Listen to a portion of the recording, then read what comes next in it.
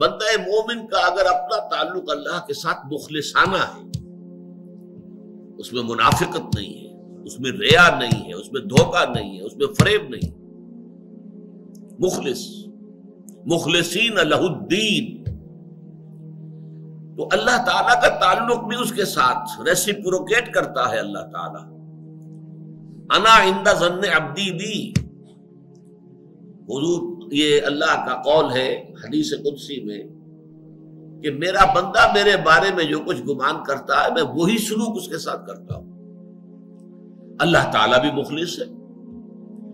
अल्लाह ताला की मर्ज़ी के बगैर कुछ नहीं हो सकता तो यकीनन जो कुछ हुआ है, उसमें मेरे लिए खैर है। चाहे फौरी तौर पर मुझे नागवार गुजरा है, मुझे तकलीफ़ हुई है, मेरे लिए ये शय जो है नापसंदीदा है। लेकिन इन दी लॉन्ग रन मुझे यकीन है कि इसमें खैर है। बेयदकल खैर इन नकाला कुल्ल शैन कदीर। अल्लाह तेरे हाथ में खैर ही खैर है, तू हर चीज़ पर कादिर अच्छा जो होगा, वो भी इज्न रब के बगैर नहीं होगा। यही तस्वुर उसके बारे में होना ज़रूरी है। इसी का नतीजा यह निकलता है जिसको कुरान मजीद बार बार कहता है, बार बार कहता है, बार बार कहता है, ला खौफुन अलैहिम वला हुम क्या मतलब इसका? ना उन पर कोई खौफ है, ना हुजन से दो चार होते आमतौर पर यह समझा जाता है कि यह आखिरत में होगा। आखिरत में तो बतमाम कमाल होगा, दुनिया में भी होता है। खौफ किस बात का भाई? होगा वही जो मेरा रब चाहेगा।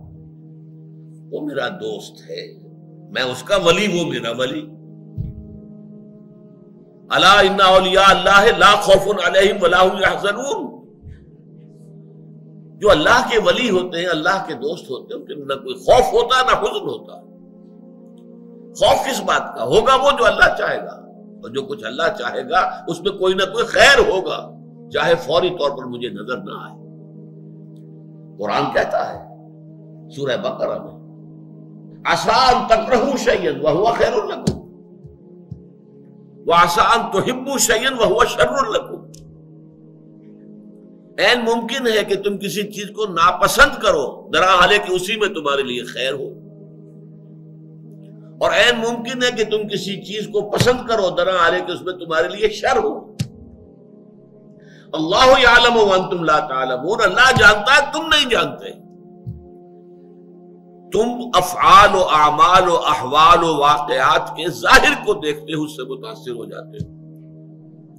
उसके पर्दे में क्या मशीयत इसदी है? क्या इरादा खुदाबंदी है? उसके पुष्ट पर क्या चीज़ है जो अल्लाह ताला को मतलूब है? ये हमें नज़र नहीं आता।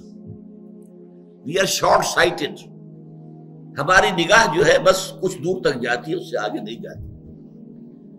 लिहाजा अफाल, अमाल, अहवाल, वाकयात के सिर्फ़ ज़ाहिर पर हमारी निगाह है, बातिल पर तो है ही नहीं।